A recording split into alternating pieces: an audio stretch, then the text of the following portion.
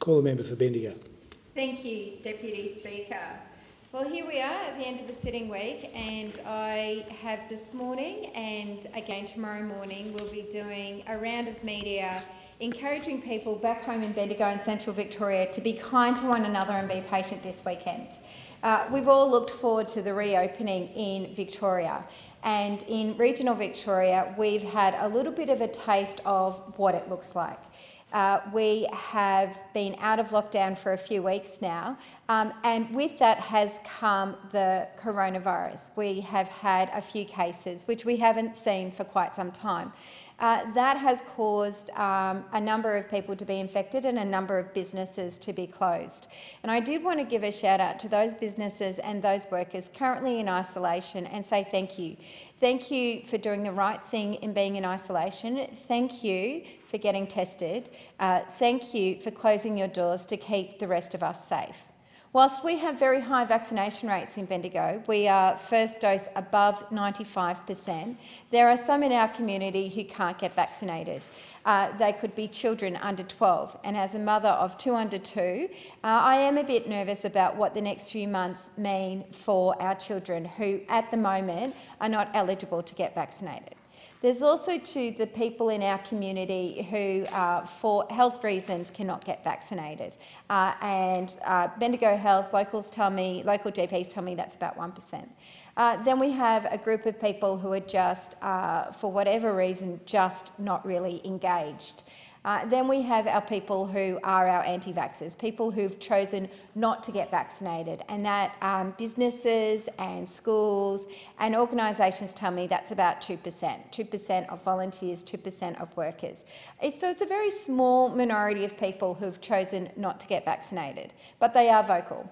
But what I would say to all the businesses that are opening this weekend, all our retail businesses, all our hospitality venues that are reopening for the first time, or that are increasing their capacity. Uh, if you do get angry people, uh, they are a very, very, very small minority. Uh, they may not be from our town, they may have snuck out of Melbourne, uh, but they are not the majority. The majority of us have chosen to get vaccinated. Majority of us, the vast overwhelming group of us, believe in the health advice, believe in the science, and have done the right thing and gone out there and get vaccinated.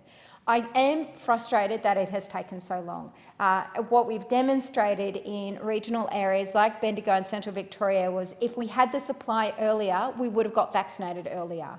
Uh, we could have opened up earlier. I also want to acknowledge and thank the, the, Victorian Government for the roadmap. It is the right roadmap, as we have seen. We need to reopen slowly so that we can stay on top of the virus.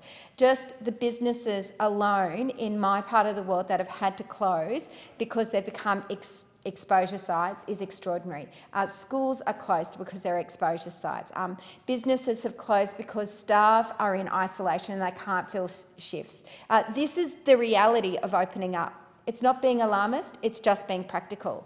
And what really disappoints me as we go into this stage of reopening, these businesses have no federal government support. These workers have no federal government support. JobKeeper ended in March. We are now reopening. Uh, businesses are having to close because of COVID related reasons, yet they have no financial support. Last year, in 2021, there was some support from the federal government. Uh, this year, there is none. And that is so disappointing when we have businesses and workers trying to do the right thing. It's not going to be this glorious Freedom Day that the Prime Minister is pretending that we are going to have. We are going to be living with this virus, and living with this virus is scary for a lot of people, a lot of businesses. It is scary for people who are worried about cash flow. They are exhausted in my part of the world. I know that Sydney has been through their own COVID scare, and I understand and appreciate what's going on in the ACT because we are here. But in Victoria, and in particular regional Victoria, we've been going through this for 18 months. It has been a yo yo, in and out, in and out and we are exhausted. Workers are exhausted and businesses are exhausted, but they are following the health advice and we're almost there. And I put a call out to the federal government again. In the few months that we have until we are into next year, help every job be saved. Help every worker uh, um, get the support that they need. Help these businesses get through. I also ask everyone to be your best self this week and next week and every week.